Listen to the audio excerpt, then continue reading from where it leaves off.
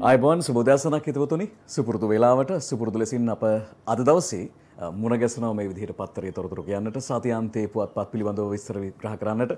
එරිදා දවස ඔබට බොහෝ රාජකාරී ඇති අපි ඒක දන්නවා. ඒ හින්දා මේ විවේකී දවසක් කියලා කිව්වට ඔබට හොඳටම රාජකාරී ඔබට හොඳටම ගෙදර වැඩ කියලා දන්නවා. එතකොට ඒ විවේකී කියන වචනයට යම් කිසි ප්‍රශ්නයක් මතුවෙනවා.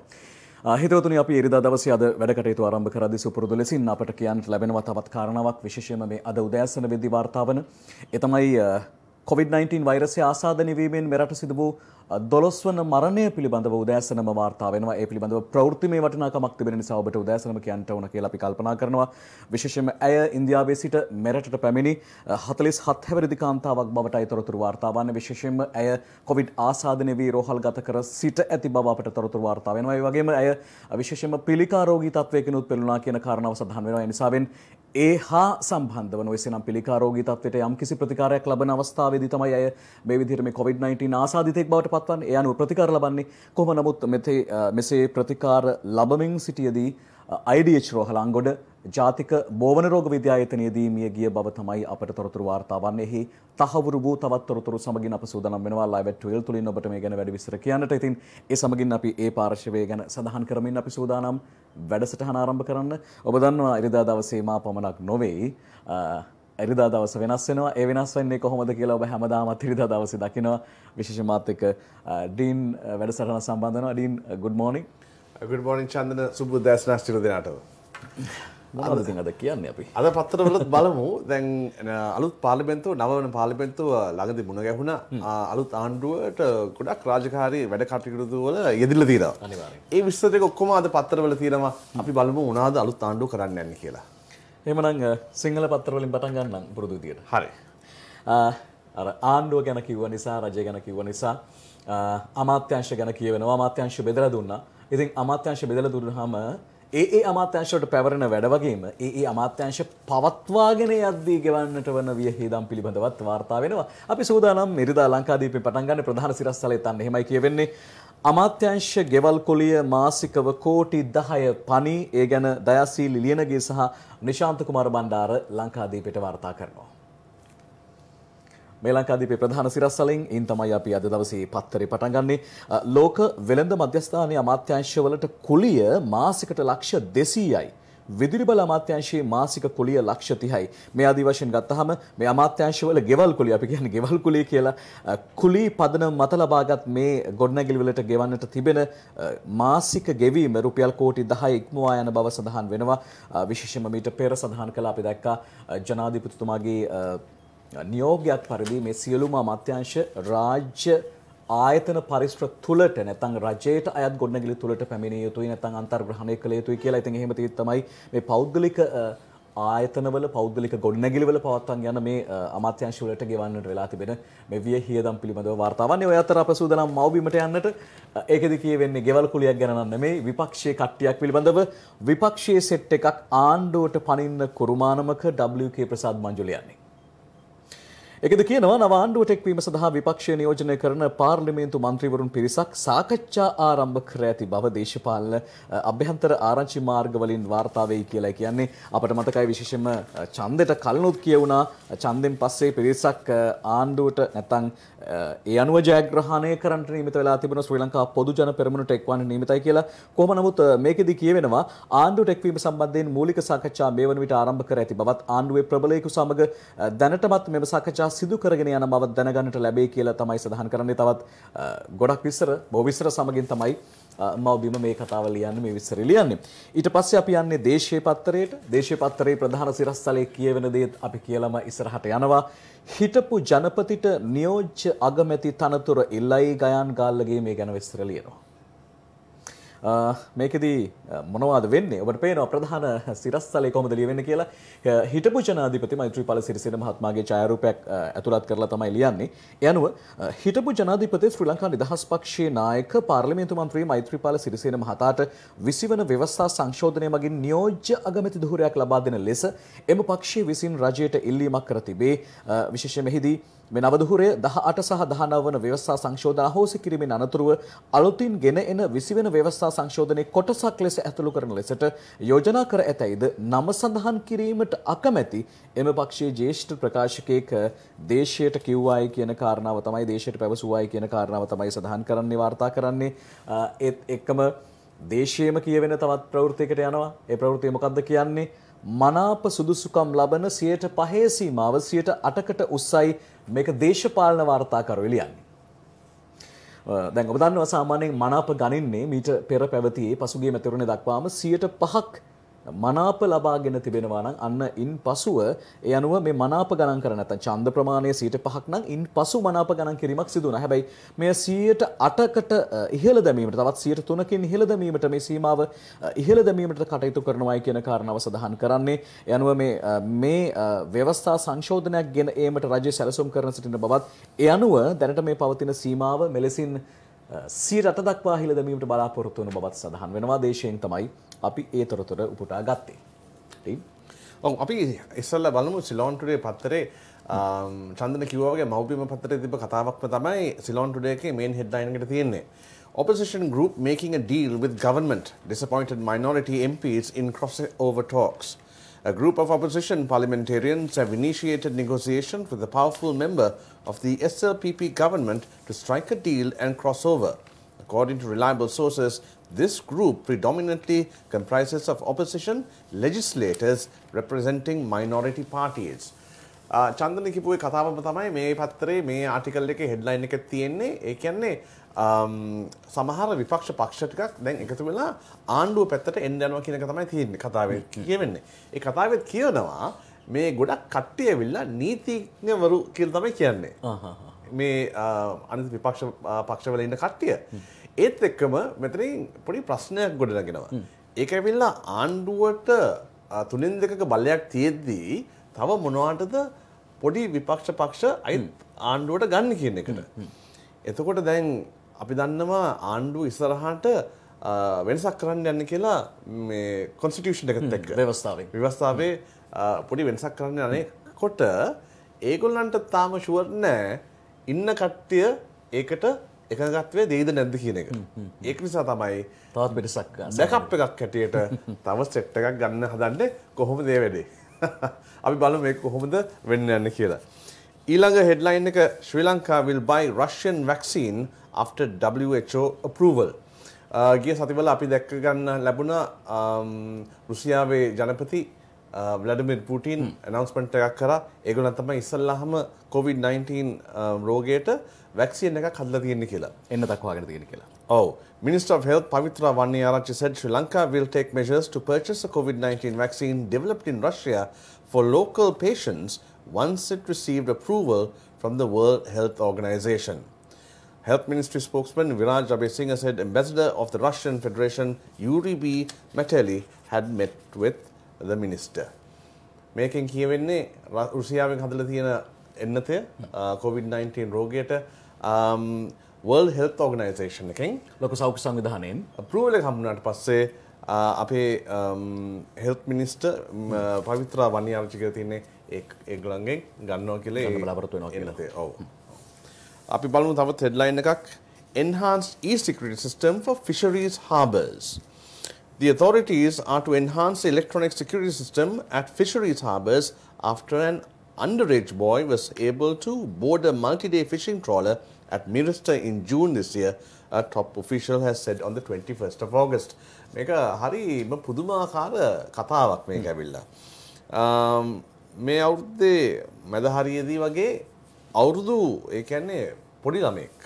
කියන්නේ මං හිතන්නේ අවුරුදු 18න් බාල ළමෙක්. මේ මුහුදු කියන්නේ මොකක්ද ෆිෂිං ගැන මුහුදු යන යාත්‍රාවක. ට්‍රෝල එකකට රස්සාාවක් කරගෙන ගිහිල තියෙනවා ඒ ඒ මේකට ඒ බැඳල තිනවා. ඒ නැවට නැව නෙමේ ට්‍රෝල එක ට්‍රෝල යාත්‍රාවට. ඔව. ඒකෙදී එයාට මොකක්ද වැරදිමකුණාට පස්සේ එයාට ගහල තියෙනවා. ගහලා ගොඩක් තුවාල ලැබල තිනවා ඒ ඒ වගේ දේවල් වෙන්න බැරිවෙන්න මේකොල්ලු දැන් හදනවා ඒ සිකරට සිස්ටම් එකක් ඉන්ට්‍රඩියස් කරන්න. එකන්නේ ඒ යාත්‍රාවට යන කට්ටිය ඒගලන්ගේ පවුල් ගැන විස්තර ඔක්කොම මේ ඒ සිස්ටම් එකට ගන්න. ඒත් එක්කම CCTV කැමර සිස්ටම් එකක් ෆිංගර් පින්ට් උපකරණ ඒ ඔක්කොම ගන්නයි හදන්නේ මේ ඒ සිකරිටිය එක ටයිට් කරන්න. ඩීන එක හොඳ කතාවක්. මොකද මේ ඕකද අපි කතා කරදි විශේෂම දැන් ඔය ඔය කිව්ව කතාව අපිට මතකයි අප මේ අපේ විශේෂයෙන්ම හැම ප්‍රවෘත්තියකින්ම ඕක අ, කතා කළා. ඒ දරුවාට දැඩි ලෙස පහර දීලා තිබුණා. එක් මාළුවෙක් කල්නවා බොහොම සරලව කිව්වහම මෙයා මාළුවෙක් කල්නවා ඒ දරුවගේ අතින් ඒ මාළුවා ගිලිහෙනවා. දැලට අහු වුණ මාළුවා ගිලිහෙනවා. ඒ නිසා තරහ ගිය උරණ වුණු අනෙක් පිරිස මේ දරුවට අමානුෂික ලෙස පහර දීලා තිබුණා. ඒ පහර කෑමෙන් බරපතල තුවාල සිදුවුණේ දරුවා පස්සේ මාතර රෝහ මහ රෝහලට ඇතුළත් කළා. අප ඒ ගැන සිද්ධිය කිව්වා. පසුව මේ සිද්ධියට සම්බන්ධ ඒ මුහුදු ගිය අනෙක් පිරිස සැකකරුවන් හතර දෙනෙක් ඒ වගේම බෝට්ටුවේ හිමිකරු ඇතුළු පිරිස අත්අඩංගුවට ගත්තා. ඉතින් අ, ළමයින්ට වෙන අසාධාරණ නවත්වන්නට හදන මොහොතේ තමයි මේ වගේ මම හිතන්නේ ඊටාම හොඳ කාරණාවක් මුහුදු යන්නේ. කවුද? ඒ ඉන්නේ කොහෙද කියලා සියල්ලම දැනගන්න පුළුවන් වෙන ඩීන් කිව්වේ අ, ඩීන් අද උදේවේදී තවත් කාරණාවක් ආරංචි වෙනවා. අපි තමයි ඒක මුලින්ම කියන්නේ. මීට කලින් ඒක දැනගන්න විදියක් නැහැ. ඊයේ දවසේදී තවත් පාතාල කණ්ඩායමකට සම්බන්ධ පුද්ගලයෙකුට වෙඩි ප්‍රහාරයකින් මිය ගිහිල්ලා තියෙනවා. ඒකට හේතුව තමයි ඔහුගේ නමත් එක්ක සියලු සි- සිද්ධිය අපට දැන් වාරන්ත වාර්- වාර්තා වෙනවා. අප සතුයි ඒ දර්ශන අප සංස්කරණය නොකළ ඒ දර්ශන ඔබට ඉදිරිපත් කරන්න සූදානම්. ඊයේ රාත්‍රී 11ට පමණ මේ වෙඩි තැබීම සිදු වෙලා තිබෙනවා. අප සූදානම් මේ දර්ශන වෙත යොමුවන්නට ඒ හරහා ඒ තොරතුරු කියන්නට මේ ඔබ දකින්නේ ඒ අ, දර්ශන මේ සිද්ධිය වෙලා තිබෙන්නේ ගම්පහ ඔරොත්තොට මාර්ගයේ කළුපාලමට නුදුරින් විශාකා පෙදෙස කියන ප්‍රදේශයේ තැපැල් කණු අසලදී ඊ රාත්‍රී 11ට පමණ තමයි අ, මේ වෙඩි ප්‍රහාර වෙලා තිබෙන විශේෂයෙන්ම අ, පොලිස් අත්තරංගුවේ පසුවුණු සැකකරුවෙක් වන චමින්ද සඳරුවන් නොහොත්න මේ සංවිධානාත්මක අපරාධකරුවෙකු ලෙස සැලකෙන අංගොඩ ලොකාගේ වෙඩික්කරුවෙකු ලෙස සැලකෙන මේ චමයා නැමැති පුද්ගලයාව අ, අරගෙන ගිහිල්ලා තිබෙනවා. ඔහු සඟවා තිබූ මද්‍රව්‍ය අ, විශේෂයෙන්ම සොයාගන්නට අපට එහෙමයි තොරතුරු වාර්තා වන්නේ. එහිදී අ, විශේෂයෙන්ම අපට දැනගන්න ලැබෙන්නේ ඔහු පොලිස් නිලධාරියෙකුගේ සතුව තිබූ අ, ගිනියවියක් පැහැරගෙන වෙඩි තබා තිබෙනවා ඔබ දැක්කා. ඒ හේතුවෙන් ප්‍ර- තුවාල සිදුව තිබෙන අ, පොලිස් නිලධාරියත් මේ මොහොතේදී අ, ගම්පහ රෝහලේ ප්‍රතිකාර ලබනවා. ඒ වගේම මේ ඔබ දකින්නේ ඒ දර්ශන ඔහුගේ අතකට බරපතල තුවාල සිදු වෙනවා තිබෙනවා කියන කාරණාව තමයි සඳහන් වන්නේ කොහොම නමුත් එහිදී අ, සිදු කළ වෙඩි ප්‍රහාරයකින් මේ චමයා නැමැති සංවිධානාත්මක අපරාධකරුවෙකුගේ වෙඩික්කරු මිය ගිය බව තමයි සඳහන් වන්නේ. ඔහුගේ මృత ශරීරය මේ මොහොතේ ගම්පහ රෝහලේ තැන්පත් කර තිබෙන බව සඳහන් වෙනවා. අප සූදානම්. ඒ ගැනත් වැඩි විස්තර අ, සියලු දර්ශන සමගින් විස්තර සමගින් ලයිව් ඇට් වේල් අපගේ ප්‍රවෘත්ති විකාශන ඔබට ඉදිරිපත් කරන්න. අපි සූදානම් පත්තරයට යන්නට ඩීන් නවතුපු තැනින් අ, මේ දේශීය පත්තරයටමයි යන්නේ. අ, සාමාන්‍යයෙන් අපේ රටේ පක්ෂ කීයක් තියෙනවද කියලා ප්‍රශ්නයක් ඇහුවොත් විශ්වාසය එකපාරට උත්තර දෙන්න බෑ. ඒ තරමට ප්‍රශ්න තියෙනවා. මෙන්න තවත් ගොඩක් එකතු වෙනවා ඒ ගොඩට. අලුත් පක්ෂ එකසිය පනස් හයක් ලියාපදිංචියට දේශය වාර්තා කරන්නේ. අ, තවත් එකසිය පනස්සයක් ලෙහෙසි නෑ. මේ සඳහා මැතිවරණ කොමිෂන් සභාව වෙත මේ අය ඉල්ලුම්පත් යොමු කර ඇති බව අ, මැතිවරණ කොමසාරිස් ජෙනරාල් අ, සමන් රත්නායක මහතා දේශයට ප්‍රකාශ කරලා තිබෙනවා. ඒ බව තමයි අද දේශීය පත්තරේ වාර්තා කරන්නේ. ඒත් එක්කම අපි දිවයිනට යනවා. දිවයිනේ මොනවද තියෙන්නේ කියලා බලද්දී එහිදී අ, මෙන්න මෙහෙම කාරණාවක් අ, ශ්‍රී ලංකා නිදහස් පක්ෂ පාර්ශවෙන් ආරංචි වෙනවා. මහමැතිවරණයේදී ශ්‍රී ලංකා නිදහස් පක්ෂ අපේක්ෂකයන්ට සහාය නොදුණු සංවිධායකවරු ඉවත් කරයි. අරුණ බෝගහවත්ත දිවයින්ට මේ ගැන ලියනවා. සිද්ධිය වෙලා තියෙන්නේ මෙහෙමයි. මේ මහමැතිවරණයේදී ශ්‍රී ලංකා පොදු ජන පෙරමුණ යටතේ තරඟ කළ ශ්‍රී ලංකා නිදහස් පක්ෂ අපේක්ෂකයන්ට සහයෝගය ලබා නොදුන් ආසන සංවිධායකවරුන් සහ පළාත් පාලන මන්ත්‍රීවරුන්ට එරෙහිව විනය පියවර ගැනීමට නැත්නම් විනය පියවරගෙන පක්ෂයෙන් නිරපීමට මත් පක්ෂයේ මධ්‍යම කාර්ක සභාව තීරණය කරලා තිබෙනවා තීන්දුව කරලා තිබෙනවා ඔන්න ඒ ගැන තමයි සඳහන් කරලා තියෙන්නේ කිසිදු උදව්වක් දුන්නේ නැහැ කියලා තමයි කියන්නේ තමන්ගේ පක්ෂයට උදව්වක් දුන්නේ නැහැ කියලා ඔය අතර ඉදිරි අයවැය ඉදිරි අයවැය කොහොම වෙයිද මොන වගේ සහන ලැබේද ඕක තමයි දැන් ප්‍රශ්නේ. ওই ප්‍රශ්නයේදී අ, මෙන්න මෙහෙම හොඳ සාධනීය පිළිතුරක් ලැබෙනවා. ඒ ගැන සිළුමිණ ජාතික පුවත්පත ලියනවා. ඉදිරි අයවැයේ මුල් තැන දේශීය නිපැයුම් වලට ජයසූරිය ඩුකුඹුරයි ලියන්නේ. මේකද කියනවා දේශීය වශයෙන් නිෂ්පාදනය කළ හැකි සියලු නිෂ්පාදන සඳහා ඉදිරි අයවැයේදී ප්‍රමුඛතාවය ලබා දීමට රජය කටයුතු කර ඇතැයිද එම කර්මාන්ත සඳහා දේශීය හා විදේශීය ආයෝජකයන්ට වැඩි සහන ලබා දී ආයෝජන දිරිමත් කිරීම උදෙසා සවිබල ගන්වන බවද මුදල් ප්‍රාග්ධන වෙළඳපොළ සහ රාජ්‍ය ව්‍යවසාය ප්‍රතිසංස්කරණ රාජ්‍ය අමාත්‍ය අජිත් නිවාඩු කබ්‍රාල් මහත්මයා අ, සිළුමිණට ප්‍රකාශ කරලා තිබෙනවා. ඒ නිසා එහෙම වෙනවා කියන කාරණාව තමයි සඳහන් කරන්නේ. යනුව ඉතාමත්ම සාධනීය දෙයක්. ඒ කියන්නේ දේශීය කර්මාන්තකරුවා දේශීය ව්‍යවසායකයාට යම් සහනයක් පැහැදිලිව ලැබෙනවා කියන කාරණාව සඳහන් වෙන්නේ. ඔය අතර අලුත් තනතුරක් ලැබිලා තිබෙනවා. ඒ කාටද ඒ තනතුර ලැබිලා තියෙන්නේ අපි බලන්න හදන්නේ ඒක. මේ සමගි ජන බලවේගයෙන් තමයි මේ තොරතුරු ලැබෙන්නේ. සජිත්ගෙන් හර්ෂණට තනතුරක් කියලා මේ ගැන මව්බිම වාර්තා කරනවා. ඔබ දකින්නේ ඒ පුවත ගම්පහ දිස්ත්‍රික්කයෙන් මෙවර පාර්ලිමේන්තුවට තේරීපත් වී සිටින හර්ෂණ රාජකරුණා මහතා ශ්‍රී ලංකාවේ නවවන පාර්ලිමේන්තුවේ විපක්ෂයේ සහකාර සංවිධායක ධුරය සඳහා විපක්ෂ නායක සජිත් ප්‍රේමදාස මහතා විසින් පත් කර ඇත කියලායි ලියන්නේ. ඒත් එක්කම තවත් බොහෝ කාරණා තියෙනවා. අපි ඒ ගැනත් කියනවා. හැබැයි ඉතින් ඩීන්ටත් කියන්න ගොඩක් දේවල් තියෙනවා. අපිත් බලමු සන්ඩේ අයිලන් පත්තරේ සන්ඩේ අයිලන් පත්තරේ පළවෙනි හෙඩ්ලයින් එක තියෙන්නේ political speculation on Sirisena's future. Uh, social media posts have taken the mickey out of former President Maithripala Sirisena after he was overlooked for a cabinet post. But he may have the last laugh in the new parliament, according to current speculation in political uh, circles.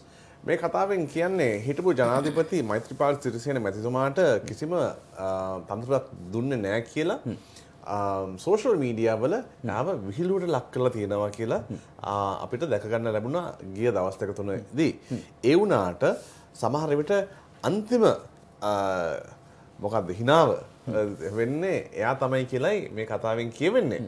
ඒ කියන්නේ දැන් එයාට reserve කල තියෙනවා මිනිස්ට්‍ර එකක්. පරිසර අමාත්‍යංශය පරිසර අමාත්‍යංශය reserve කරාට මංහිතන්නේ අලුත් කොන්ස්ටිටියෂන් චේන්ජකෙන් එයාට අලුත් පත්වීමක් ලැබෙන්න තියෙනවා කියලයි හිතෙන්නේ. සිංහල පතරයකත් එක කිව්වා. එක කිව්වා. ඔව.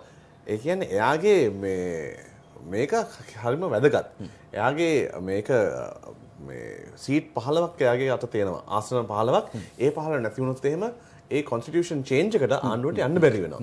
ඒක නිසා සමහර විට ඒ අලුත් පත්වීම එයාට ලැබෙන කියන එක තමයි කියලා විශ්වාස කරනවා. විශ්වාසයක් තියෙනවා. රින් මේ ඉක්මනින්ම වෙලා බලන්න ඕන අපි වෙලා බලන්න.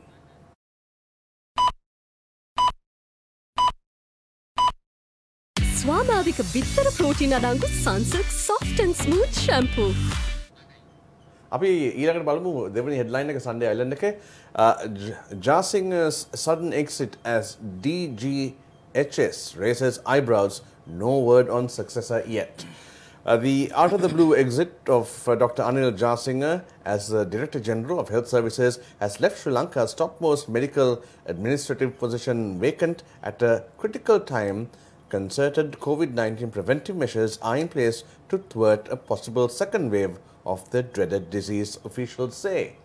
Uh, මේක හරිම අපි බලන්නට කතාවක් මේක ඇවිල්ලා අනිල් ජාසිංහ මහත් දොස්තර මහත්ත එයා තමයි මේ දවස්ට කොවිD-19 රෝගයේදී අපි මාස දෙකක් ලොක්ඩවන් ඉදද්දි යා නිසා තමයි. යාට කියන්නේ මෑන් අත මැච් කියලා ඒ ලොක්ඩවන් පීරියඩ් එකේ. යා නිසා තමයි ගොඩක් දුරට අපිට නවත්වන්න පුළුවන් වුණේ මේ රෝගය වැළඳෙනකම දැන් එයාව එක පාට්ටම ප්‍රමෝෂන් එකක් දීලා පරිසර අමාත්‍යංශයේ ලේකම් ලේකම් හැටියට.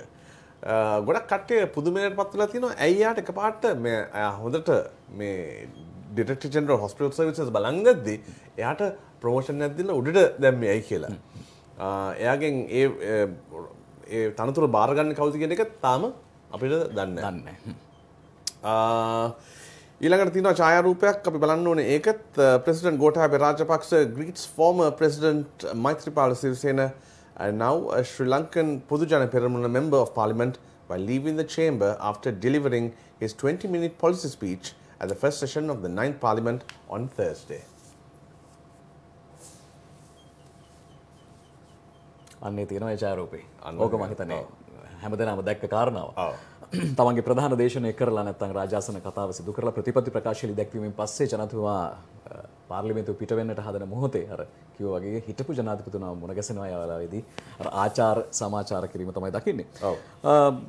සිංහල පත්‍ර කීපයක් කියමුඩින්.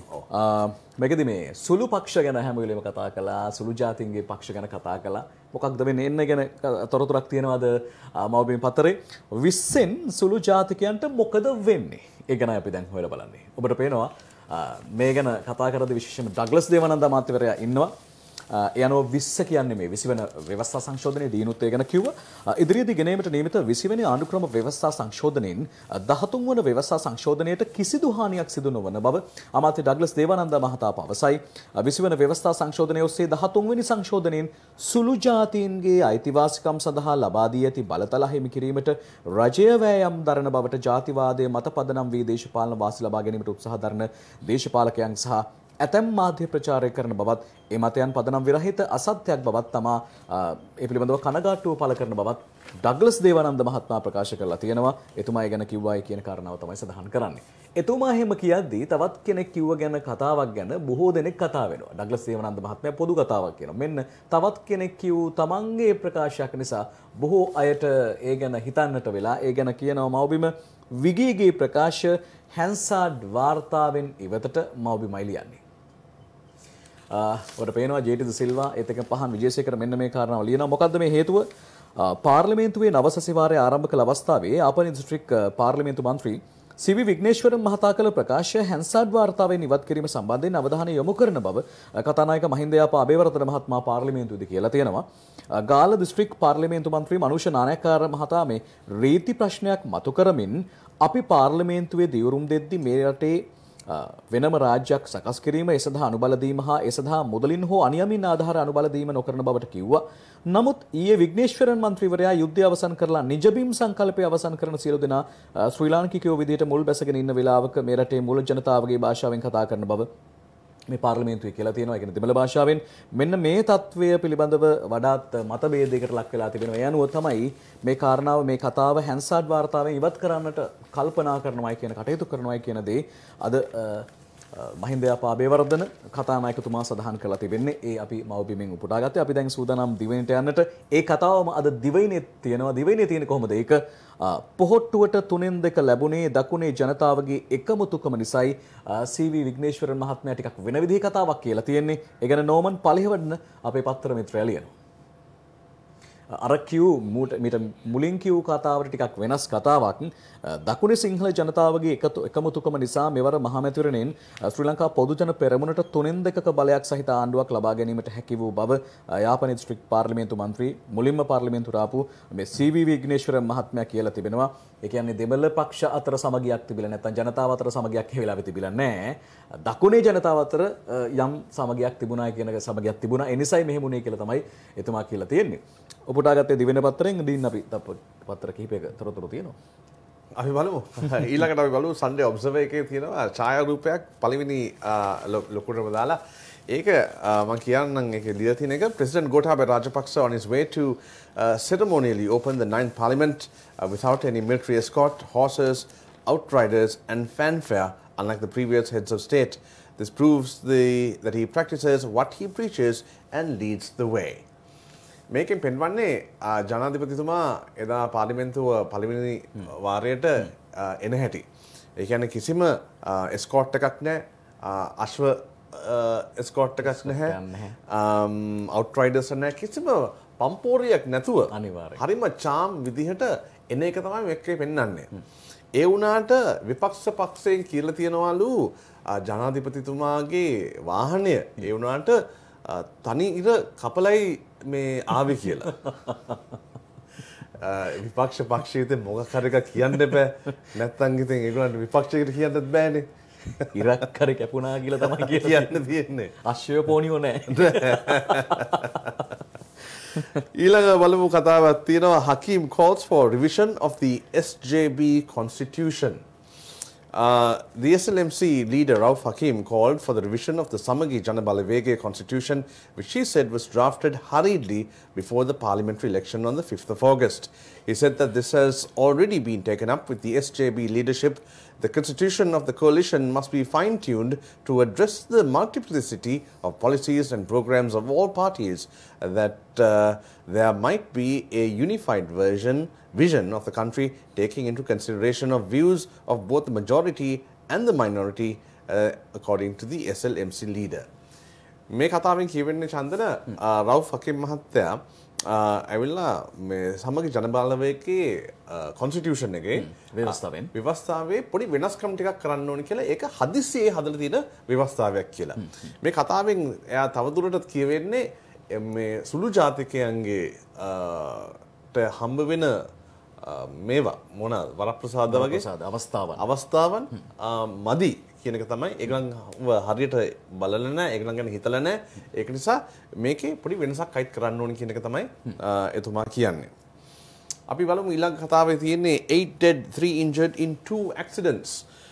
Um, eight people died in two accidents yesterday, and the police said the three persons died and three others were injured when the van they were traveling in skidded off the road and went over a precipice near the Ravana Ella or on the Ella Vellavaya road. And also, five people died instantly when the motor vehicle they were traveling in collided head on with a tipper truck in the Valakumbura Alauwa on the Colombo Kurunagal road on Friday morning. රියානතුරු දෙකක් වෙලා තියෙනවා එකම වෙලාවට වගේ. එකක් ඇවිල්ලා CB එකනේ electricity board එකේ කට් එකක් ඇල්ල පාර යනකොට පා- වාහනේ ම්, පාරෙන් ස්කිඩ් වෙලා ආපු ටිපරක හැප්පිලා. නෑ. ඒක දෙවනි එක. මේක වාහනේ ස්කිඩ් වෙලා වැටිලා පල්ලෙහාට වැටිලා.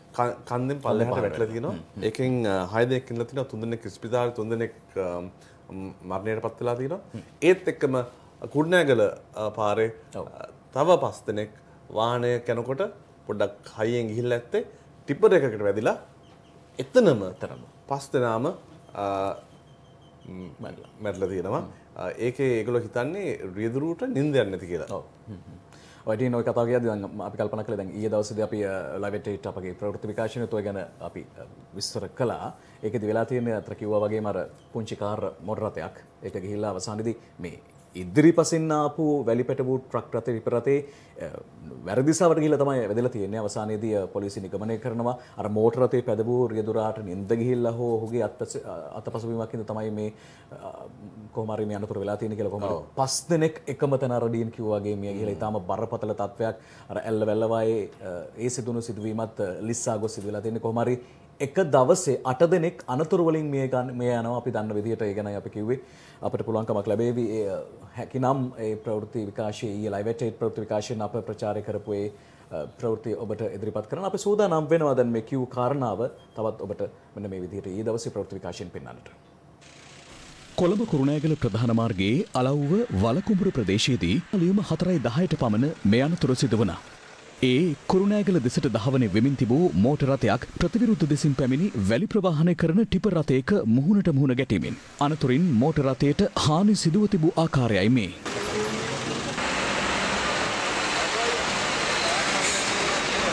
මෝටරතේ ගමන් කරමින් සිටි පුද්ගලයින් පස් දෙනා අලව්ව ප්‍රාදේශීය රෝහලට ඇතුළත් කරනු අතර ඔවුන් ඒ වන විටත් මිය ගොස් සිටි බවයි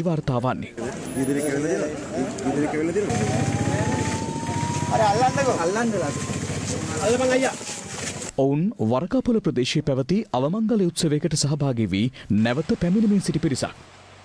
රියදුරු හැරුණු විට සෙසු සිව් දෙනා මාර්ග ඉදිකිරීම් සිදු කරන සමාගමක සේවේ නිරතව සිටි පිරිසක්. ඔවුන් නෙළුම්දෙනිය වැලිමඩ ආනමඩුව හා ඉබ්බාගමුව යන ප්‍රදේශවල පදිංචිකරුවන් වන අතර අවුරුදු විසි දෙකත් විසි නවයත් අතර වයස්වල පසුවන්නන්.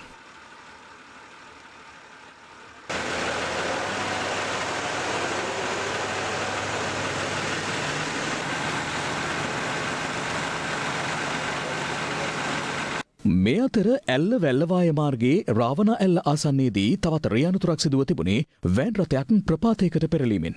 සිද්ධියෙන් වෑන් රථයේ ගමන් කළ පුද්ගලින් තිදෙනෙකුට දෙවි අහිමි වුණ. අනතුරු සිදුවන විට පුද්ගලින් හය දෙනෙක් වෑන් රථයේ ගමන් කරමින් සිට ඇති අතර රියදුරු හැරුණු විට සෙසු පස් දෙනා බදුල්ල තැනීම් ගබඩාවේ විදුලි අධිකාරිවරුන්. පයින්න දංවල පයින්න ඔහම ගණ්ඩුව තපොට තපට තපට ප්‍රපාතයට පෙරළුණු වෑන් රථයේ සිරව තිබූ රියදුරුගේ සිරුර පිටතට ගැනීමට පැය තුනක පමණ කාලයක් දැඩි පරිශ්‍රමයක් දැරීමට සිදුවනා. අලංක පනි ඔහම අපි අල්ලගෙන ඉන්නේ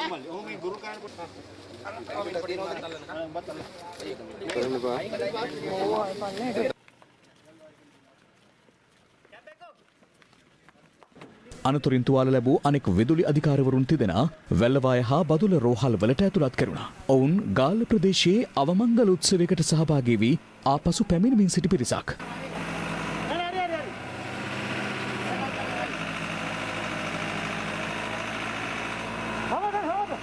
මේ අතර තමුත්තේගම ඒරයාගම දුම්රිය හරස් මාර්ගයේදී කැබ්රතයක් දුම්රිය ගැටි තවත් අනතුරක් සිද වන. අනුරාධපුර දෙසට දහවනය වූ කැබ්රතයක් තලේමන්නාරම සිට කොළම්බලා දහවනය වූ රාත්‍රිය දුම්රිය ගැටීමෙන් සිද වූ මේ අනතුරින් කැබ්‍රිය ගමන් කළ පුද්ගලින් හත් දෙනෙකු තුවාල ලැබවා. කැබ්‍රතේ සිටි රියදුරු පිටතර ගැනීමට දැඩි පරිශ්‍රමයක් දරීමට සිදුව තිබුණා. බලන්න මොනතරම් අභාග්‍ය සම්පන්න කරනාවක්ද කියලා ඒ ඊයේ දවසේ සිදුවුණු රියානතුරුවලින් මියගිය අට දෙනාම මරණ ගෙදරක අපි සරල වචනයෙන් කිව්වහම නොයසේ නම් කිසියම් කෙනෙකුගේ අවමංගලය උත්සවයකට අවමංගල අවස්ථාවකට සහභාගී වී එමින් සිටි පුද්ගලයන් පිරිසක් අවසානයේ ඔවුන්ටත් ඒ හරහාම තමගේ ජීවිතයෙන් සමුගන්නට අවසන් ගමන යන්නට සිදු වුණා. ඊටමත් බරපතල කේදනීය තත්වයක්. අප සූදානම් නැවතත් පත්තරයට යන්නට අද ලංකාදීපයේ තවත් තියෙනවා කාරණාවක්. සිවාජිලිංගම් මහත්මයාගේ එතුමා එක එක කතා කියනවා. මෙන්න එතුමා තවත් කිව් කතාවක් තිබෙනවා. උපාධිධාරීන්ට රැකියා දීමේදී උතුරු නැගෙනහිර අමතක කරලා කියලා එතුමා චෝදනා කරලා තිබෙනවා. මේක නිශාන්ත කුමාර බණ්ඩාර ලියනවා. උපාධිධාරීන්ට රැකියාව ලබා දීමේදී උතුරු නැගෙනහිර දෙමළ උපාධිධාරීන් අමතක කිරීම කනගාටුවට කරුණක් බව උතුරු පළාත් හිටපු මන්ත්‍රී එම්.කේ සිවාජිලිංගම් මහතා පවසයි කියලා කියනවා. එතුමා ඉතින් විවිධ කතා විවිධ කාලට කියනවා. ඔන්න තවත් කතාවක් කියලා තියෙනවා ඒ ප්‍රදේශයේ ඒ පැත්ත අමතක කරලා කියලා. ඒත් එක්කම අපි තවත් කතා කියනවා ඊට කලින් අපි වෙලා බලන සූදානම්. ඒත් එක්කම තවත් විස්තර කිහිපයක් කියන්නයි සූදානම් වන්නේ. අපි දිවෙන පත්තරයට යන්නේ දිවෙන පත්තරයේ තියෙන තොරතුරක් අපි හොයා බලනවා. ඔබට කියන්නට විශේෂයෙන් මෙහිදී තිබෙන කාරණාවක් මේ උපාධි නැත්නම් රැකියා දුන්නේ නැහැ කියලා එතුමා චෝදනා කරදී මෙන්න මෙහෙම කාරණාවක් කියනවා. අද දිවයින දිවෙන ඉරිදා සංග්‍රහය තමන්ගේ ප්‍රධාන සිරස්තලේ වාර්තාකරණය ගැන කියලා වයස පැන්න උපාධිධාරීන්ටත් රජී රැකියා ශාම්නුවන් ගණේවත් ලියන්නේ. ඉතාම විශේෂ කාරණාවක්. උපාධිධාරීන් පනස් දහසකට අමතරව තවත් උපාධිධාරීන් දස දහසකට රැකියා ලබා දීමට ජනාධිපති ගෝඨාභය රාජපක්ෂ මහතා ගෙන ඇති තීරණය අනුව වයස අවුරුදු 45ට වැඩි අවුරුදු 45ට වැඩි රැකියා විරහිත උපාධිධාරීන්ටද අයදුම් කිරීමේ අවස්ථාව හිමි වේ ඇති බව ජනාධිපති මාධ්‍ය අධ්‍යක්ෂ මොහන් සමරනායක මහතා දිවයින ඉරිදා සංග්‍රහයට ප්‍රකාශ කළ තිබෙනවා. මම හිතන්නේ ඉතාමත්ම අසාධනීය කාරණාවක්. අවුරුදු 45ට වැඩි අයටත් ඒ විදිහට ඔන්න රැකියා ලබා ගැනීමේ අවස්ථාව තිබෙනවා. ඒ නිසා වෙන ඔබට පුළුවන්කමක් තිබෙනවා. දැන් මැසිවිලි නගන්නේ නැතුව ඉල්ලුම් කරන ඉතාමත්ම සාධනීය කාරණාවක්. අපි සූදානම් දේශයට යන්නට දේශයට යද්දි මෙන්න මෙහෙම පොතක් අපට මුණ ගැහෙනවා. ව්‍යවස්ථා සභාව අහෝසි අමාත්‍ය රමේෂ් පතිරණ මහතා කිව් කියන කාරණාව හසිත් අංජන ලියනවා. අපි සූදානම් වෙනවා විශේෂයෙන්ම මේ ගැන කතා කරද්දී 20 වෙනි ආණ්ඩුක්‍රම ව්‍යවස්ථා සංශෝධනය යටතේ දැනට ක්‍රියාත්මක වන ආණ්ඩුක්‍රම ව්‍යවස්ථාව සභාව අහෝසි කරන බව සම කැබිනට් මාධ්‍ය ප්‍රකාශක අමාත්‍ය රමේෂ් පතිරණ මහතා පැවසියේ යනුව විශේෂයෙන්ම මේ 20 එද්දි 19 ගොඩක් දේවල් ඉවත් වේවි. ඒ ඉවත් වෙන එකක් අතර මේ ව්‍යවස්ථා සභාවත් අහෝසි වෙනවායි කියන කාරණාව තමයි සඳහන් කරන්නේ වාර්තා කරන්නේ. තවත් පුවතක් උපුටා ගන්න දේශයෙන්මයි මනෝට දිගාට ඉඩදී රංජිත් කබීර් පස්සට යති. අපි බලමු ඒක කොහොමද ලියන්නේ කියලා. ඒකෙද කියනවා මනෝ ගණේෂන් හා පී දිගම්බරන් යන පක්ෂ නායකයන්ට මන්ත්‍රීවරුන්ට මැති සභේ ඉදිරි පෙළ අසුන් ලබා දීම සඳහා සමගි ජන බලවේගයේ ජ්‍යෙෂ්ඨ මන්ත්‍රීවරුන් දෙපළක් වන එහි මහලේකම් රංජිත් මද්දු බණ්ඩාර හා කබීර් හෂිම් යන මහත්වරුන් මැති සභේ පසුපෙළ අසුන් වෙත යාමට තීරණය කර තිබෙනවා කියන කාරණාව කියන්නේ ඒ අනුව ඉස්සරහින් පස්සට යනවා වෙන මොකුත් හින්දා නෙවෙයි තමන්ගේම පක්ෂයට ඉඩ දීලා කියලා තමයි කියන්නේ. ඩින් අපි බලමු ඊළඟට පත්තරේ තියෙනවා The Sunday Times පත්තරේ මේකේ තියෙන පළවෙනි headline එක ඇවිල්ලා no labor and welfare units in overseas missions for biggest foreign exchange earners. අපි බලමු මේ කතාව කොහොමද කියන්නේ කියලා. An urgent cost-cutting measure, the Labour Ministry has decided to shut down labour and welfare sections in Sri Lanka's missions overseas, including the West Asian region, and recall the staff. Labour Ministry Secretary UK Mampa Patirana told the Sunday Times that the labour sections were being shut down on a government directive to cut down expenses. Um, අපේ ලංකාවේ තානායම් කාර්යාල තානාපති කාර්යාල. වල තියෙනවා labour section එක. ඒ කියන්නේ ලංකාවේ වැඩ ලංකාවේ කට්ටිය පිටරටවල වැඩ කරන කට්ටියට අ, කි- මොන හරි අ, අවශ්‍යතාවයක් වුණාම. තියෙනවා ප්‍රශ්නයක් තියෙනවා නම් ඒ ඔෆිස් එකට ගිහලා තමයි කම්ප්ලේන්ට් කරන්නේ. රටවල් තියෙනවා මං හිතන්නේ 16ක් විතර අ, 14ක රටවල් 14ක ඒ ඩිපාර්ට්මන්ට්ස් එක තියෙනවා. ඒ ඔක්කොම වහණ්ඩයි යන්නේ. ඒ වහන්නේ කොස්ට එක අඩු කරගන්න. එකන්නේ වියදන් අඩු කරගන්න. ඒකට එක වහනවා. ඒ මිෂන්ස් වලටම. පුළුවන් ඒ සම්බන්ධ ප්‍රශ්නවලට උත්තර දෙන්න. උත්තර දෙන්න. කිසිම මොකක් හරි උදව්වක් එහෙම කරන්න. ඊළඟට තියෙනවා තව ඡායාරූපයක් අපි බලමු. Uh, aspiring President Gotabaya Rajapaksa greeting and having a friendly chat with the schoolgirls who sang the Jayamangala Gatha to welcome him when he arrived in Parliament on Thursday to deliver the government's policy statement. The President met with the school's girls at the tea party held after the policy statement was made. Uh, ඊළඟ headline එක බලමු a huge allocation for provincial council ministry polls likely within months with provincial council uh, elections likely to be held in the coming months the public services provincial councils and local government ministry will get a huge share of the funds in the government's voter account uh, which was placed on parliament's order book on friday and will be debated next thursday and friday මේ කතාවෙන් කියවෙන්නේ ආ, ලොකු budget එකක් කැලොකෙට් කරලා තියෙනවා කියලා ආණ්ඩුවෙන් ආ, ළඟදී ප- අ- අ- අ- තියන්න යන ආ, පළාත් සභා මේ ඡන්දයට. ආ, ඒ කියන්නේ ඒක ඉස්සල්ලාම ට- ඉක්මනටම වෙන එකක් ගැන තමයි මේ කතාවෙන් කියවෙන්නේ. මහිතන ලොකු වීදමක් දරන්න වීදමක්, අවශ්‍ය කරන වීදමට අවශ්‍ය කරන මුදල් හොයාගන්නට ඕන. නිසාවෙන් තමයි ඔය පරිපූර්ණ කැස්තමේන්තුවක් එහෙම ඉදිරිපත් කරලා තිබෙනවා. විශේෂයෙන්ම බිලියන ගණනක මුදලක් අවශ්‍යයි ආණ්ඩුවට මේ වෙලාවේ ක්‍රියා කරන්න. ඒ හා සම්බන්ධව තමයි මේ කාරණාව කියන්නේ. ඩින් ගොඩක් විස්සර කිව්වා තවත් විස්සර කියන්න මට තියෙන ඉතුරු වෙලා. ඉතින් අද මම හිතන්නේ ඉංග්‍රීසි පත්‍රයට ටික ඉවරයි. ඉවරයි. ඔව්. දැනට ඒවට ඉවරයි. බොහොම ස්තුතියි අදත් ආවට අපි ආයෙත් ලබන දාම්බෙමු. අර ඒව කරමු. සුබෝදෑසනක්. එවනම් අපි අ, මොහොතකට විරාමයක් සඳහා හිතවතුනි යොමු වෙනවා. විරාමයෙන් පසු නැවතත් අපි සූදානම් වෙනවා පත්තරේ තොරතුරු අපිට කියන්නට.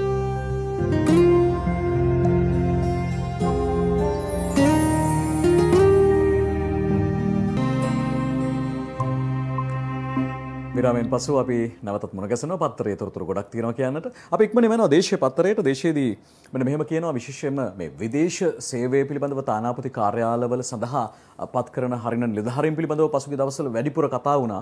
ඒ අනුව වඩාත් ඒ පිළිබඳව පළපුරුද්දක් තිබෙන, සුදුසුකම් තිබෙන, වටිනාකමක් තිබෙන පුද්ගලයන් ඒ සඳහා පත් කළ යුතුයි කියන තීරණය සහ ඒ ජනමතය නිර්මාණය වුණා. එය ගැන කතා කරද්දී ඔන්න ඒ ගැන සාධනීය පිළිතුරක් ලැබෙනවා. රවිනාත් ප්‍රංශයට සංජීව ජපානයට දේශපාලන වාර්තාකරු දේශයට ලියන පුවතක් මේ. එකද කියනවා හිටපු විදේශ ලේකම් රවිනා තාරේසිංහ මහතා ප්‍රංශයේ ශ්‍රී ලංකා තානාපති ධුරයට පත් කිරීමට නියමිත බව ඉහළ පෙළේ ආරංචි මාර්ග සඳහන් කරයි. එසේම ප්‍රකට ව්‍යාපාරිකයෙකු වන අ, සංජීව රාජපක්ෂ මහතා අ, ජපානයේ ශ්‍රී ලංකා තානාපති පදවියට නම් කර තිබේ කියලා සඳහන් කරනවා. විශේෂයෙන්ම මෙහිදී අ, රවිනා තාරේසිංහ මහත්මයා කියන්නේ අපේ රටේ වඩාත්ම පුළුල් අත්දැකීමක් සහිත විදේශ සේවය සඳහා නැත්නම් ඒ සමගින් කටයුතු කරපු අ, නිලධාරියෙක් නිලධාරියෙක් ලෙසින් අපිට හඳුනා ගන්න පුළුවන්. ඒ වගේම සංජීව රාජපක්ෂ මහත්මයා අ, ඇමරිකාවේ සිට අ, මෙරට ව්‍යාපාර හසුරුවන තවත් ව්‍යාපාරික දැනුමින් සන්නද්ධ අ, පුද්ගලෙක් තැනත් එක් කියලා අපිට හඳුනා ගන්න පුළුවන්. ඉතින් ඔවුන් තමයි මේ විදිහට ප්‍රංශයට සහ අ, ජපානයට පත් කර හරින්නේ කියන කාරණාව සඳහන් කරන්න. අපි ඒත් එක්කම යනවා මව්බිම් පුවත්පතට. ටිකක් වෙනස් විදිහේ මේ අනෙකුත් පුවත්පත් එකකවත් වාර්තා නොවුණු කාරණාවක් මව්බිම ලියනවා මෙන්න මෙහෙම. අ, අපේ රටේ සිටින විශිෂ්ට ගණයේ අ, වෙදදුරෙක් පිළිබඳව ඔහු ගැන කියද්දි මෙන්න මෙහෙම මම කියන්නම් මව්බිමේ තියෙන විදිහට. ඒලියන්ත ගෙනියන්න ඉන්දියාවෙන් ඉහළම නිලධහරින් පටවගත්තු විෂබීජ හරණය කරපු ප්ලේන් එකක් WK ප්‍රසාද් මංජුලයන්නේ.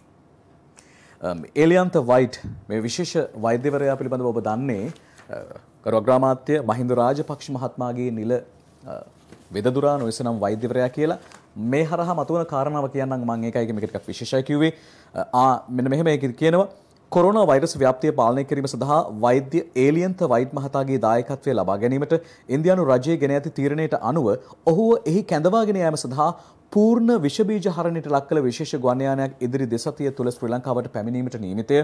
යනුව ජනාධිපති ගෝඨාභය රාජපක්ෂ අග්‍රාමාත්‍ය මහින්ද රාජපක්ෂ යන මහත්වරුන් දැනුවත් කර එම නායකයන්ගේ අනුදැනුම මත ඉන්දියාවට අවශ්‍ය සහයෝගය ලබා දීම සඳහා වෛද්‍ය ඒලියන්ත වයිට් මහතා තීරණය කර ඇති අතර මේ සම්බන්ධයෙන් ඉන්දියානු බලධාරීන් සමග වෛද්‍ය ඒලියන්ත වයිට් මහතා සාකච්ඡාවට කිහිපයක්ම වේවිමටත් පවත්වා ඇත කියලා සඳහන් කරනවා විශේෂයෙන්ම ඉන්දියාවේ මේ වන විට දැඩි අ, නිරෝධායන නීති රීති පනවාගෙන තිබෙනවා පවත්වාගෙන යනවා. ඒ සියල්ලක්ම අ, යම් යම් සංශෝධනට ලක් කරලා මේ අනුව මේ වෛද්‍යතුමන්ව අරගෙන යන බවත්. එහිදී ඒ ගුවන් යානයේ සිටම එරට බලධාරීන් සමග සාකච්ඡා කිරීමට සාකච්ඡාවට කිහිපයක් පැවැත්වීමට නිමිත බවත් සඳහන් වෙනවා.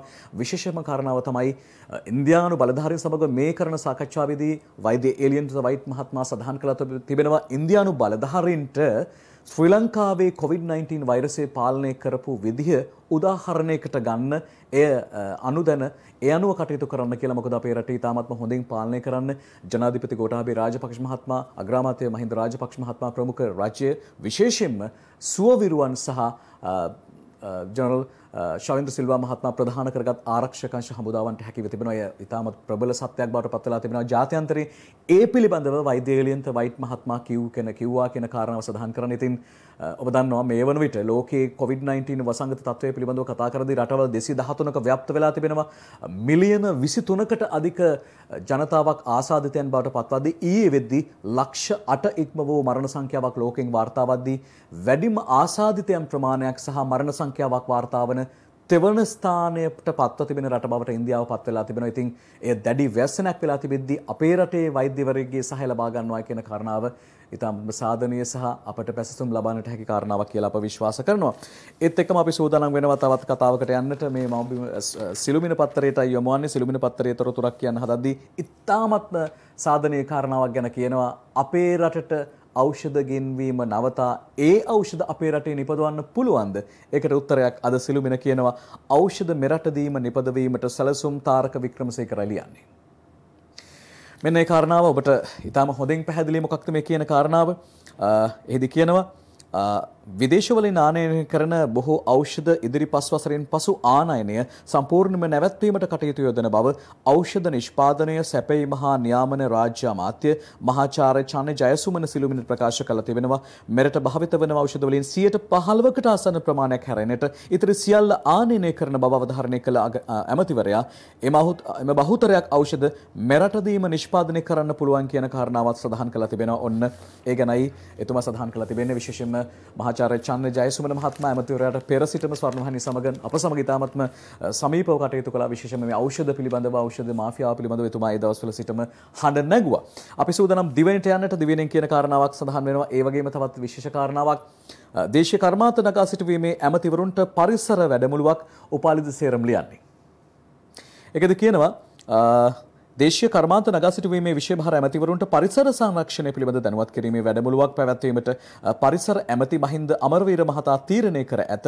දේශීය කර්මාන්ත සඳහා අවශ්‍ය නිෂ්පාදන අමුද්‍රව්‍ය අවට පරිසරයෙන් ලබා ගැනීමේදී අ, පරිසරයට හානි නොවන ලෙසින් එම අමුද්‍රව්‍ය ලබා ගන්නා ආකාරය සහ එම ද්‍රව්‍ය අමුද්‍රව්‍ය ඇති ප්‍රදේශ පිළිබඳව මෙහිදී අ, දැනුවත් කිරීමට හඳුන්වා දීමට නියමිතයි කියලා සඳහන් කරනවා අ, එහිදී. ඒත් එකම තවත් විශේෂ කාරණාවක් කියන්න හදනවා ඊට කලින් වෙලාව බලනවා.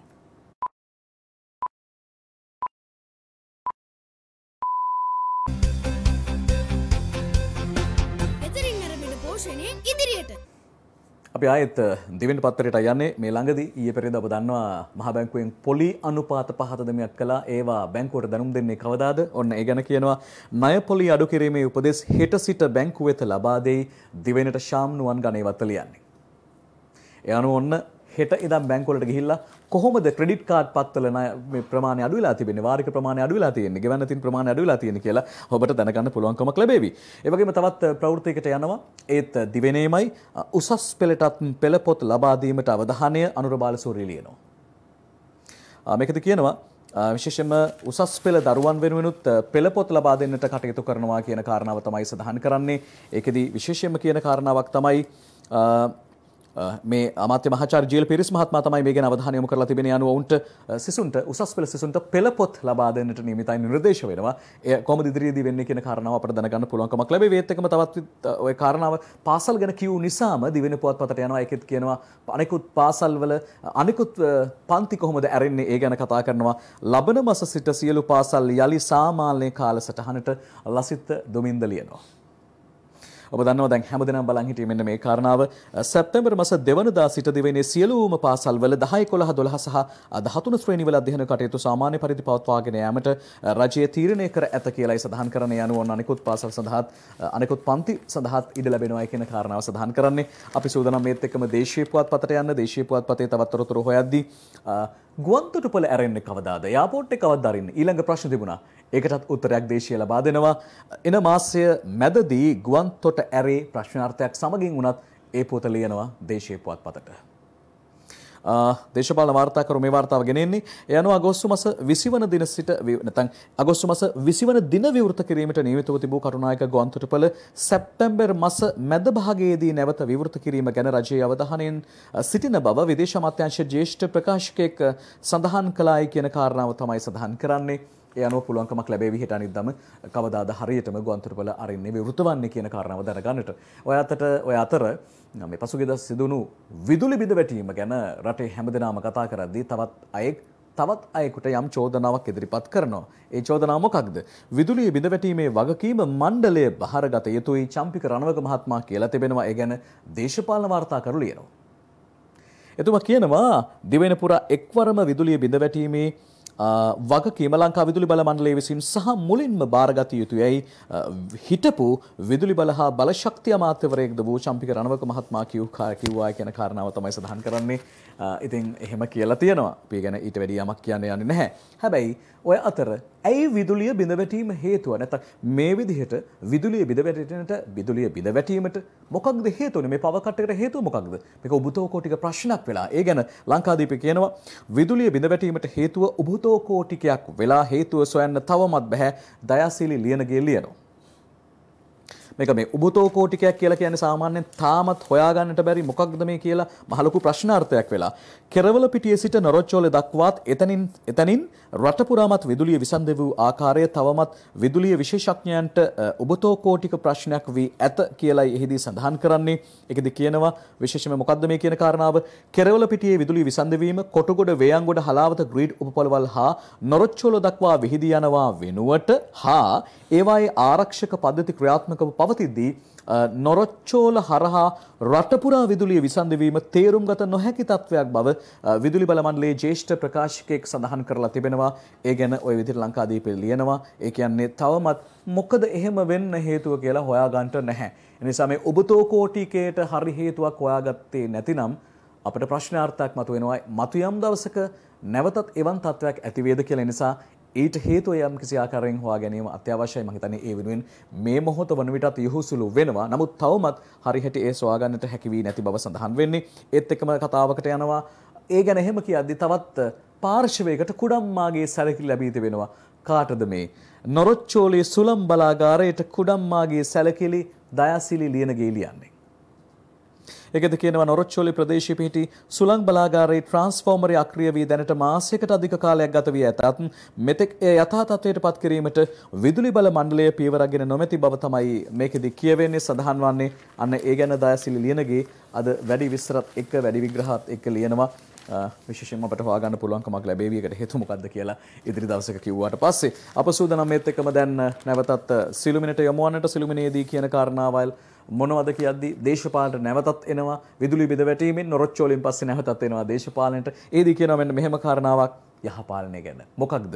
යහපාලන ආණ්ඩු සමේ රාජ්‍ය සේවක පලිගැනීම් නවදහස් අටසිය හතලිස් හතක් ජයසූරිඩ කුමර ලියනවා මෙද කියනවා වසර දෙදහස් පහළවේ සිට දෙදහස් දහනවේ වසර දක්වා දේශපාලන පලිගැනීමට ලක් වූ රාජ්‍ය සේවකයන් සම්බන්ධයෙන් විමර්ශනය කිරීම සඳහා පත් කර ඇති ජනාධිපති විමර්ශන කමිටුවට මේ වන විට දේශපාලන පලිගැනීමට ලක් වූ රාජ්‍ය සේවකයන් නවදහස් අටසිය හතලිස් හත් දෙනෙකුගෙන් පැමිණිලි ලැබී ඇති අතර එම පැමිණිලි වලින් එක්දහස් හත්සිය තිස් හතරක් දැනටමත් විමර්ශනය කර අවසන් කියන කාරණාව තමයි එහිදී සඳහන් කරන්නේ. ඒත් එකම සිළුමිණිම වාර්තා කරන තවත් විශේෂ කාරණාවකට යනවා. ඔබ දන්නවා මෙරට මත්කුඩු සහ පාතාලය මර්ධනය කිරීම තමයි රජයේ මූලික අවශ්‍යතාවය සහ මුඛ්‍ය අරමුණ බව සඳහන් වුණා. ජනතාවගේ මනාපයත් ඊට හිමි වුණා. ඒ අනුව මේ සිදු කරන වැටලීම් දිනපතා සිදු කරන වැටලීම් පිළිබඳව සඳහන් කරද්දී ඒ ගැන තවත් විශේෂ කාරණාවක් සඳහන් කරනවා. පාතාල ප්‍රබලයන් 35ක් අත්අඩංගුවට අමිල මලවිසූරියයි ලියන්නේ. මේකද කියනවා අ, පාතාල සාමාජිකයන් මද්‍රව්‍ය ජාවාරම්කරුවන් ඇතුළු රට පුරා විසිරී සිටින වරන්තුකරුවන් අත්අඩංගුවට ගැනීම සඳහා අකණ්ඩව පසුගිය තෙමසකට ආසන්න කාලය පුරා රජය ක්‍රියාත්මක කර ඇති වැඩපිළිවෙල තුලදී පොලිසිය සහ විශේෂකාර්ය බලකාය එක්ව සිදු කළ මෙහෙයුම්වලදී මේ ප්‍රබල ගණයේ මද්‍රව්‍ය ජාවාරම් වලට සහ ප්‍රබල ගණයේ පාතාලයට සම්බන්ධ 35 දෙනෙක් අත්අඩංගුවට ගෙන ඇති බව සඳහන් වෙනවා. ඒ විශේෂත්වය මොකක්ද දන්නවද? ඊට කාන්තාවන් 10 දෙනෙක්ද ඇතුළත් වෙලා තිබෙනවා. මේ මද්‍රව්‍ය වලට සම්බන්ධ කාන්තාවන් පිළිබඳව මෙහිදී සඳහන් වන්නේ ඒ 35 දෙනා අතර 10 දෙනෙක් කාන්තාවන් වෙනවා කියලා සඳහන් වෙනවා. ඒ කොහොමද? ඒත් එක්කම යනවා අපි දැන් ඒ කියු නිසා ඒත් එක්කම මව්බිමට මව්බිමේ කියනවා මේකට ළඟින් යන තවත් කාරණාවක් ඉතාමත්ම විශේෂ කාරණාවක් සහ ඊයේ දවසේ වෙද්දී අග්‍රාමාත්‍යවරයාගේ විශේෂ අවධානයට ලක් වුණු කාරණාවක් ඒ තමයි අවුරුදු පහට අඩු දරුවන් 46ක් හිරගෙවල් වල කුමුදු උපල්ශාන්තයි ලියන්නේ. මෙන්න ඒ පුවත ඒ කාරණාව විශේෂයෙන්ම මේ ගැනයි සඳහන් වෙන්නේ. මෙන්න මේ විදිහට මද්‍රව්‍ය චාවාරම් ඇතුළු විවිධ අපරාධ සම්බන්ධයෙන් චෝදනා ලැබ සිරගතව සිටින මවුරුන් පිරිසකගේ කුඩා දරුවන් 46 දෙනෙකුටද එම මවුරුන් සමග දිවයිනේ විවිධ ප්‍රදේශවල සිරගෙවල් වල සිරගතව සිටීමට සිදු ඇති බව වාර්තා වෙනවා. එම දරුවන් අවුරුදු 5ට අඩු වයසේ පසුවන්නන් බවද පිරිමි දරුවන් 25 දෙනෙකු සහ ගැහැණු දරුවන් 21 දෙනෙකු එසේ සිරගල් වල සිටින බවද සඳහන් වෙලා තිබෙනවා. විශේෂයෙන්ම ඒ ගැන එහෙම සඳහන් කරනවා වාර්තා කරනවා. ඒත් එක්කම තවත් විශේෂ පුවතකට අපි අවධානය යොමු කරනවා ඔබ දන්නවා විවිධ වර්ගයේ මංකොල්ල කෑම් මම් පැහැරීම් විවිධ වර්ගයේ තොරතුරු වාර්තා වෙන. ඔය අතර මේ ඊසි ක්‍රෑෂ් ක්‍රමයට සිදුවන යම් යම් අයථා ගනුදෙනු වංචාවන් පිළිබඳ තොරතුරු වාර්තා වෙනවා. ඒ ගැන තවත් තොරතුරක් වාර්තා කරනවා මව්බිම මිනිසුන් රට යවනවා කියා ඊසි කෑෂ් ක්‍රමයට කෝටි ගණන් හොයපු ජාවාරමා අල්ලපු මෙහෙයුම එහෙමයි මව්බිම ලියන්නේ. මේක ටිකක් විශේෂයි ඔබට පේනවා මේ සැකකරු ඔහුගේ මුහුණ නිවැරදිව හඳුනා ගැනීමට නොහැකි. කීර්ති මෙන්ඩිස් මේ පොත ලියනවා මෙන්න මෙහෙම. විදේශ රටවල රැකියා ලබා දෙන බව පවසමින් කියමින් නවීන තාක්ෂණ ක්‍රමවේද ඔස්සේ ජාත්‍යන්තර දුරකථන අංකවලින් මෙරට නොයෙකුත් පුද්ගලයන්ට කතා කොට ඊසි කෑෂ් ක්‍රමයට රුපියල් කෝටි ගණන් මුදල් උපයාගත් මහා මොල කරුවෙකු බස්නාහිර පළාත් විශේෂ විමර්ශන ඒකකයේ අතරංගුවට ගෙන තිබෙනවා. බස්නාහිර පළාත් ජ්‍යෙෂ්ඨ නියෝජ්‍ය පොලිස්පති දේශබන්දු තෙන්නකොන් මහතා විශ්වවිද්‍යාල උපාධි අපේක්ෂකයෙක් කරන ලද පැමිණිල්ලකට අනුව තමයි කළපු දීර්ඝ පුළුල් විමර්ශනයකදී මේ පුද්ගලයා අත්අඩංගුවට ගැනීමට ගැනීමට හැකි වෙලා තිබෙන්නේ. විශේෂ වන්නේ විශේෂයෙන්ම මෙය මීට පෙරත් පොලිසියෙන් නැත්නම් පොලිසිය පාර්ශවයෙන් සඳහන් කළා කිව්වා. පොලිසියෙන් කියලා තිබුණා මේ ඊසි කෑෂ් ක්‍රමයට සිදු කරන වංචාවන්ට කිසිදු ආකාරයකින් හසුවන්නට එපා කියලා. මොකද මේවා සෙවීමේදී ඉතාමත්ම ප්‍රබල කාලයක් ප්‍රබල විමර්ශනයක් සිදු කරන්නට සිදු වෙනවා කියන කාරණාව සහ මහ විශාල කාලයක් ඒ වෙනුවෙන් ගත කරන්න වෙනවා කියන කාරණාව නිසාවෙන් Taman මුදල් යම් කිසි දෙයකට යොදවනවා නම් හෝ ගනුදෙනු කරනවා නම් ටිකක් කල්පනා කරනවා නම් හොඳයි කියලා තමයි කියන්න තියෙන්නේ. අපි යනවා දිවයිනට ඉක්මනින්ම රස පරීක්ෂකයේ කුඩු වලට දැඩි ආරක්ෂාවක් නෝමන් පලිහවඩන ලියනවා. ඔබ මතකයි ඔබ දන්නවා පසුගිය දවස්වල මේ රස පරීක්ෂකයේ තිබුණු ඇතැම් කුඩුවලටත් යම් යම් දේවල් සිදු වුණා කියලා මෙන්න මෙහෙම ලියනවා. පොලිස් මද්‍රව්‍ය කාර්යාංශය මගින් පරීක්ෂණ කටයුතු සඳහා රජයේ රස පරීක්ෂක දෙපාර්තමේන්තුවට ලබා දී ඇති කිලෝග්‍රෑම් 600ක් පමණ මද්‍රව්‍ය තොගය ආරක්ෂා කිරීම සඳහා දැනට යොදවා ඇති ආරක්ෂාවට අමතරව විශේෂ ආරක්ෂාවක් යෙදවීමට පියවරගත් බව රස පරීක්ෂක දෙපාර්තමේන්තුවේ නියෝජ්‍ය අධ්‍යක්ෂ එච් ජයමාන්න මහත්මා ප්‍රකාශ කරලා තිබෙනවා. ඉතින් ඒ රස පරීක්ෂකයේ තිබෙන ඒවත් ඉතාමත්ම හොඳින් ආරක්ෂා කරගන්න වෙලා තිබෙනවා. ඔබ දන්නවා ඒකට හේතුව පසුගිය දවස්වල සිදුණු කාරණා මොනවද කියන කාරණාව. ඒ නිසායි මේ රස පරීක්ෂකයේ තිබෙන දේවා මේවා කුඩු නැත්නම් මත් කුඩු වලටත් වැඩි ආරක්ෂාවක් ලබා දෙන්න සිදු වෙලා තිබෙන්නේ. ඔය අතර ටිකක් වෙනස් විදිහේ කාරණාවකට යොමු වෙනවා ප්‍රවෘත්තියකට යොමු වෙනවා. ටුක් ටුක් නොයසේ නම් ත්‍රිරෝධ රථ අපේ රටේ ත්‍රිරෝධ රථ ලියාපදිංචි වී ඇති සංඛ්‍යාව දල වශයෙන් සැලකෙනවා ලක්ෂ 10කට වැඩි කියන කාරණාව ඇතැම් විට ලක්ෂ 15ක් කියලා කියවෙනවා. කොහොම නමුත් වැඩි පිරිසක් තමන් ස්වයං රැකියාවක් ලෙස තමන්ගේ රැකියාව ලෙස මේ ත්‍රිරෝධ රථ වෘත්තිය යෙදෙන ඔය අතර ඇතැම් පිරිස් එය හැර යන බවට තොරතුරු වාර්තා වෙනවා. දවසකට 600ක් ත්‍රිරෝධයට සමුදේ තාරක වික්‍රමසේකර ලියන්නේ. මේ ඇයි මේ මොකද කියන කාරණාව අපිට හොයලා බලද්දි මෙන්න මෙහෙම වාර්තා වෙනවා. මෙරට ත්‍රිරෝධ හිමිකරුවන් 600ක් පමණ දිනපතා තම රථ අලෙවි කිරීම සිදු කරන බව මෝටර රථ ප්‍රවාහන දෙපාර්තමේන්තුවයි කියන්නේ. පසුගිය වසර තුලදී පමණක් ත්‍රිරෝධ රථ හිමිකරුවන් විසින් ත්‍රිරෝධ රථ 299500කට වඩා අලෙවි කර ඇති බවද එම දෙපාර්තමේන්තුව පෙන්වා දෙනවා වාර්තා කරනවා. ඔන්න ඒ ගැන තමයි වැඩි විස්තරත් එක්ක ඒ විදිහට අ, සිළුමිණ වාර්තා කරන්නේ සිළුමිණ ලියන්නේ. ඒ සමගින්ම සූදානම් වෙනවා තවත් අ, කාරණාවලට යොමු වන්නට එහිදී කියන්නට ඕන අපි මේ විදිහට මුල් පිටුවල පළවෙන කාරණාවෙන් පසුව අපි සූදානම් ඇතුළු පිටු තොරතුරු ඔබට කියන්නට එහිදී තෝරගන්න මුලින්ම තෝරගන්න පුවත අපට විශේෂයි ස්වර්ණවාහිනීට විශේෂයි. එනිසාවෙන් එය මුලින්ම ඔබට කියන්නට කියලා කල්පනා කළා. ඒ තමයි අ, ඊයේ දවසේ සිට දිගහැරෙන අ, කළුගං අ, කොමලිය ගැන කතා කරන කළුගඟ දිගේ නැතන් ගඟ දිගේ වැඩසටහන පිළිබඳව එහි අ, නිර්මාපකයා වන ජැක්සන් ඇන්තනී මහත්මා පුවත්පතකට සම්මුඛ සාකච්ඡාවක් ලබා දෙනවා අප සෝදානම් අ, හද ගැස්මින් එය උපුටා ගන්නට තිල්නි කෞශල්‍යයා විජයසිංහ සමගින් කරන්නට යෙදුණු සම්මුඛ සාකච්ඡාවක් අප දැන් දකිනවා. මේ තියෙන්නේ එයයි උකුල පළල් වූ ගංගාවී එක්ක ජැක්සන් ඇන්තනී ආයෙත් ගඟදිගේ මේ ගැන කතා කරදි මෙන්න මෙහෙමයි. කොරන එතුමක් කියනවා කොරන යුගේ ටෙලිවිෂන් ආයතන තමන්ගේ පැරණි වැඩසටහන් නැවත පෙන්වන්න පටන් ගත්තා. ඔය අතරේදී ස්වර්ණවාහිනිය නැවත ගඟදිගේ සලංහන්තේ වගේ වැඩසටහන් ප්‍රචාරය කළා. ඒ වැඩසටහන් ගැන කනින් කොනින් අහලා තිබ්බ අලුත් පරම්පරාවත් ඒවා මීට කලින් නරඹා තිබ්බ පැරණි පරම්පරාවත් එය නැවත නැරමීමත් එක්ක එයින් මේ ප්‍රවණතාවය රටේ ඇති වුණා.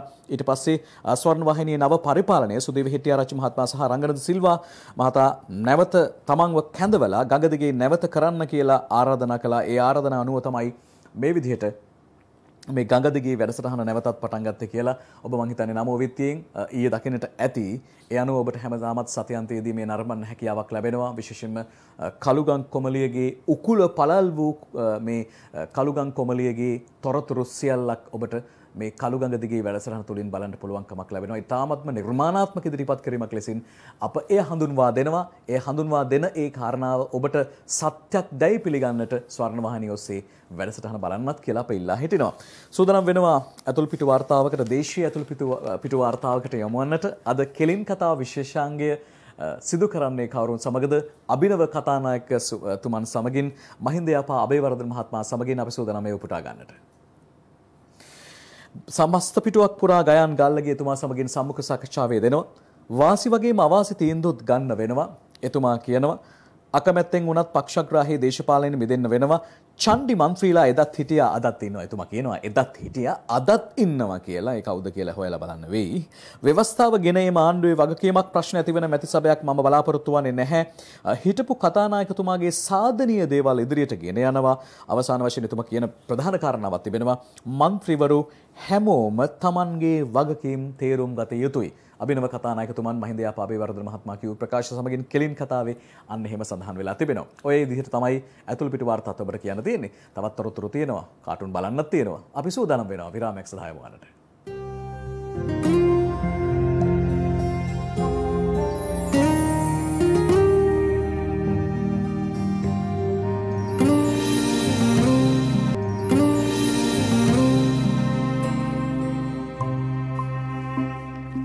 අපි දැන් පත්තරෙන් බලන්නේ කාටූන් මුලින්ම තෝරගන්න කාටූන් එක මොකෙන්ද? සිළුමිණ පත්තරේ මුල් පිටුවේ තියෙනවා සිම්පල් මෑන් අපි සිම්පල් මෑන් බලනවා. මෙන්න සිම්පල් මෑන් අද එඩික්ලික් සිම්පල් මෑන් එක යනවා. අ, දෙන්න අතර කතා බහක් තියෙනවා. දෙන්න බැලුවහම නිකන් හොඳට පේනවා කවුද මේ දෙන්න කියලා. අව්වේ වේලෙන්නේ නැතිව ගෙදර යන්න. එහෙම කියනවා. එතකොට අර දෙන්න කියනවා අන්න ලොක්කම වැඩේට බැහැලා රස්සා දෙනවලු. දැන් ඉතින් අපි උද්ඝෝෂණ කරලා වැඩ පෙන්නලත් ඉවරයි. අවුව විලෙන්නේ නැතුව ගෙදර යන්න තමයි වෙලා තියෙන්නේ. ඒකයි දෙන්න අතර කතා බහ. ඒ දෙන්න කොයි වගේද කවුද කියලා ඔබට හිතා ගන්න පුළුවන් කමක් ලැබෙනවා. අපි සූදානම් ලංකාදීපේ තොප්පි කාටුනේ බලන්න. අද ඉන්නවා තොප්පි. අද තොප්පිට මුණ ගැහලා තියෙන කවුද හොඳට බලන්න. ජනාධිපතිතුමා ගෝඨාභය රාජපක්ෂ මහත්මයා. එතුමා කියනවා තොප්පිට කියනවා මං ලැයිස්තුවෙන් කැපුණු උපාධිධාරීන්ටත් රැකියා දෙනවා බං කියලා. ඔය අතර තොප්පි මුකුත් කියන්නේ පිටිපස්ස තියෙන පරණ ගරාවැටිච්ච ගයක් අත ලකුණක් තියෙනවා. ඒ ගෙයින් කියන මෙහෙම කැබිනට් එකෙන් කැපුණු අපටත් කැබිනට් ඇමතිකමක් දෙන්න පුළුවනයි වගේ එකක් තමයි අහන්නේ. ඒත් එක්කම සූදානම් ජෙෆ්රි දිවෙන ඉරිදා සංග්‍රහයට අදින කාටුනේ බලන්න. ඔබ දන්නවා මෝල් ගහ සහ වංගෙඩිය. හ්ම් ගහට පොත්ත වගේ දෙක නැතුව බෑනේ. ඔන්න මෙන්න වංගෙඩිය තියෙනවා. මේ වංගෙඩිය දාලා 19 කොටනවා වංගෙඩිය දාලා මේ මෝල් ගහෙන් එක්කෙනෙක් නෙමෙයි දෙන්නෙක්. මේ දෙන්න දිහා හොඳට බලන්න. මහින්ද රාජපක්ෂ මහත්මයි ගෝඨාභය රාජපක්ෂ මහත්මයි වගේ තමයි කිව්වේ පේන්නේ. ඔවුන් දෙදෙනාම එකතු වෙලා මෝල් ගහෙන් මේ 19 නැමැති ව්‍යවස්ථාව වංගෙඩිය දාලා කොටනවා හොඳට. ඒකයි කියන්නේ ඒ ඒ කාටුනෙන් කියන්නේ. ඒත් එක්කම ඒ පිටුවේම අපිට මුණ ගැහෙනවා අ, හිටිවනය කවිපෙළ බලමු හිටිවනය කවිපෙළ. අ, අනුරාධ හිරිපිටියගේ මෙන්න මෙහෙම අද හිටිවනය ලියනවා. ව්‍යවස්ථාව අලුතෙන් කිරි කිරිවාගේ හැදුමයි පැතුම ජනපතින්දුගේ බලවේගේ හරි තීරණ අරන් ජයගෙන අභියෝගේ සුවසිත හැදෙන්නයි ඕනෑ ජනයාගේ අන්න එහෙමයි කියන්නේ සුවසිත හැදෙන්නයි ඕනෑ ජනයාගේ කියලා. ඒත් එක්කම දේශයට යනවා දේශයට අසංග ඉඳුලි ලදින ප්‍රධාන කාටුනය බලන්නේ. අපි කියන සාමානෙන් කනෙන් රිංගන්න හදන්න එපා කියලා. මගේ කනෙන් රිංගන්න හදන්න එපා කියලා. හැබැයි එහෙම උත්සාහයක් තියෙනවා. ඔබට පේනවා මේ විශාල රූප ඉන්න කවුද? ජR ජයවර්ධන මහත්මයා. එතුමගේ කනෙන් රිංගන්න හදන්නේ අර පාසල් ළමුන් අරගෙන යන ස්කූල් බෑග් එකක් පිටේ දාගෙන කවුද කියලා බැලූ බැලමට ඔබට පේනවා. ඒ ස්කූල් බෑග් එක 20 විසිවන ව්‍යවස්ථා ආණ්ඩුක්‍රම ව්‍යවස්ථා සංශෝධනය නැමැති බෑග් එක කරේ දාගෙන මහින්ද රාජපක්ෂ මහත්මයා ජේ.ආර් මහත්තයා කණෙන් රින්ගන් හදනවා කියලා තමයි අද අසංග ඉඳුනිල් කියන්නේ. ඒත් එක්කම අපි යනවා සිළුමිණී ප්‍රධාන කාටුනය ඉඩික්ලික් කාටුනය බලන්න. දෙන්නෙක් ඉන්නවා බෝඩ් ලෑල්ලකුයි හෙන්ඩුවකුයි අරන් බෝඩ් ලෑල්ල සහ හෙන්ඩු අතේ තියෙන කාගෙද කිව්වහම දන්නවා. ඔය අතර ඈතින් උද්ඝෝෂණයකුත් යනවා. එක්කෙනෙක් ජෝන් කියලා කියනවා. එතකොට කවුද මේ කියලා ඔබ දන්නවා. ජෝන් මහත්තයා කියනවා සර් අපිත් යමු අර ගොඩට උද්ඝෝෂණ කරන ගොඩට. එතකොට කියනවා ගෝට සර් අපිටත් රස්සාවක් දෙයි කියලා. එහෙම කියන්නේ කාටද? හෙන්ඩු අතින් අරන් ඉන්න රනිල් වික්‍රමසිංහ මහත්මයාට. අසං ඉදුල්ගේ හිඩස කාටුනේ දේශනය බලන්නේ ටිකක් වෙනස් විදිහක තවකයක කියනවා. මැරතන් එකට ඉන්න ඉඳලා තිනවා කට්ටියක්. මේ කට්ටිය ඉද්දි ලයින් එකේ නැත්තම් ඒ ඉරේ ඉද්දි එක්කෙනෙක් වංගුවක් ගහලා බලන්න බැටන් එක අරන් වංගුව ගහලා තියෙන කවුද කියලා. අර ඉරේ ඉන්නවා පිරිස. දයාගමගේ මහත්තයා වජිරාභිවර්ධන මහත්තයා වගේ කට්ටිය ඉන්නවා. ඔය අතර අර වංගුව ගහලා බැට්න ගලන් දුවන්නේ කවුද?